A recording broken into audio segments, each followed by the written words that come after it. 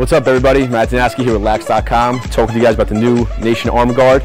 I wore it this summer. It's my favorite arm guard of all time, I gotta say. It's longer up top here to protect your shoulders and your bicep from getting checked. A little short on the bottom so it doesn't hit your glove. Real protective cap right here, flexible. It's got moisture management to it so it won't slide down. It's a really great arm pad. You should check it out at Lax.com.